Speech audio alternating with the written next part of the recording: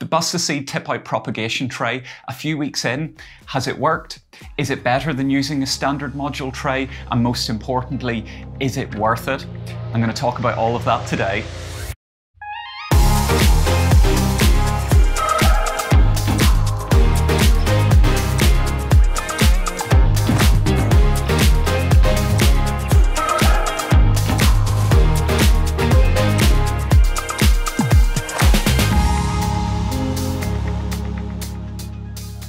Hey everyone, how's it going and welcome back. Last month I reviewed this thing, the Bustaseed Tip Out Propagation Tray, because I'd seen one online and I was interested to find out how well it actually works. Well, if you haven't already seen the first part of the review, I'll link it up above so that you can go and check it out. Since then, I've been trialing it with some of my own seeds. I've been growing all of my tomato plants this year in this thing, and now it's time to pot them up and we'll find out whether the main selling point of the Bustaseed tray actually works. The idea that you can lift out individual rows to check on the progress of the plugs and that when it's time to pot them on, rather than having to squeeze the modules from the bottom to try and prise up each individual plug, all you have to do is tip it out, super easy, and then you can just pot up your plant. So in the first review video, I hadn't actually grown anything in one of these Bustaseed trays before, so I was only able to give you my first impressions about things like construction and the concept behind the design itself. Well, now that I've had this for a few weeks and I've been growing things in it, I can let you know whether it actually lives up to expectation or not. And probably the best place to start is durability and construction. When I first saw this, I was really impressed at how thick and heavy the plastic was, and I thought it would make for a nice sturdy module tray. Well, I can confirm that that is definitely the case. I've been really impressed with it.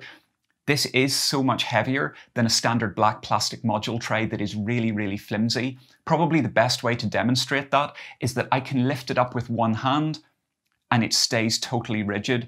If I had tried to do that with just a black plastic module tray, it would be flopping all over the place. It would be spilling soil. It would be breaking apart. This thing doesn't do that. I'm really impressed. And I think that's a really good sign for the future. I think it shows that this thing is going to stand the test of time and that rather than getting a couple of uses out of it, and then it just becoming more plastic waste that goes to landfill, this is going to last for a good few years. When bringing on seedlings, one of the most important things to stay on top of is the watering, because the little baby plants are just so delicate that they can't afford to dry out. My preference is to water seedlings from below so that they don't get damaged themselves and so that the compost doesn't get blown around all over the place with the water. That then means that I'm plunging either pots or trays into watertight containers, into the sink, or even the bath sometimes, which can be a bit of a pain and it can be kind of messy.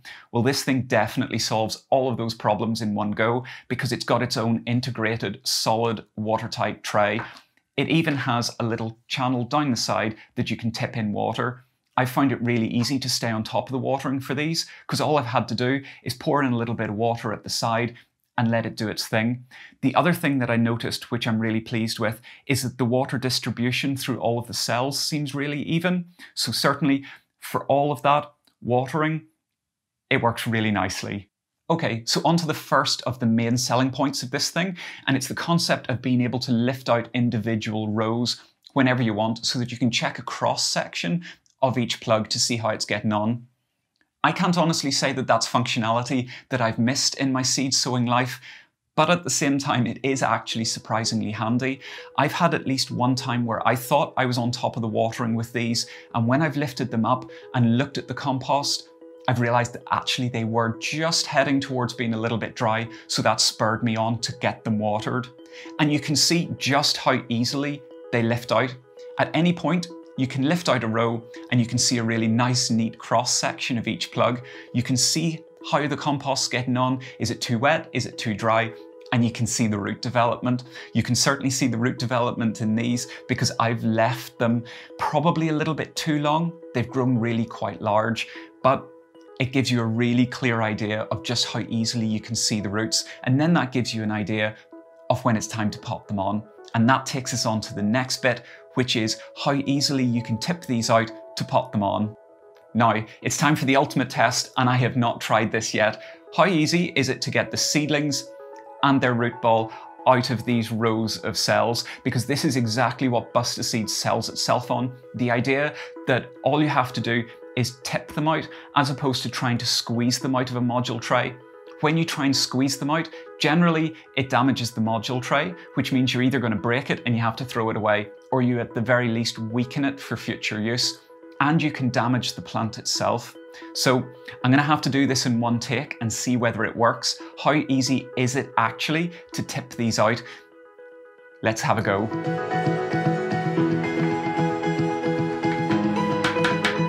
Okay, here goes.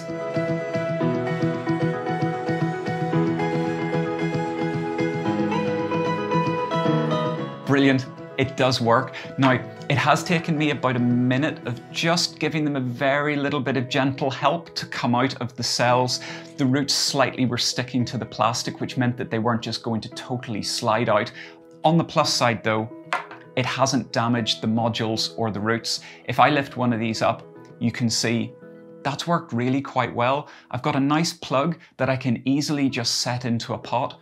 It hasn't damaged the roots. It's all holding together really nicely. And certainly it does actually minimize the damage to the plants and it's really easy to do. So I'm happy with that.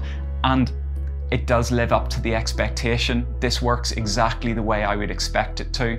And now that I have a free row, I can fill it with more compost and I can start sowing more seeds. In conclusion, when I first got my hands on this thing, I was really impressed with it. And now that I've trialed it for a few weeks, it did not disappoint.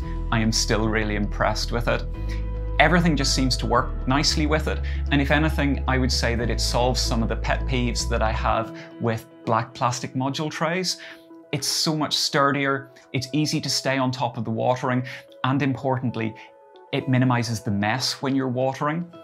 It's really handy being able to lift out the rows to see how things are getting on. The plug sizes are nice and big, so the plants develop really nicely. You can certainly see that here because I've left these to grow for way too long. And then when it's time to tip them out, you get a really nice, neat plug that is perfect for potting on and it doesn't damage the seedling or the root structure in the process.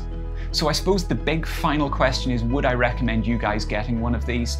And I would have to say yes. Now, it is more expensive than buying a standard module tray, but what you're getting is something that's got really good green credentials because it's all recyclable and it's going to last you for so much longer, as well as just working really nicely. I kind of can't fault it. Definitely worth getting hold of. So I hope you found this useful. Let me know in the comments down below because I'm really interested to get your thoughts on this thing. Maybe you have one already, let me know. And as ever, if you enjoyed the video, give it a thumbs up if you haven't already, hit that subscribe button and also make sure to hit the bell icon because then that way you'll be notified when I post my next video. And until next time, I'm taking my plants, I'm going to go and pot them up, and I'll see you later.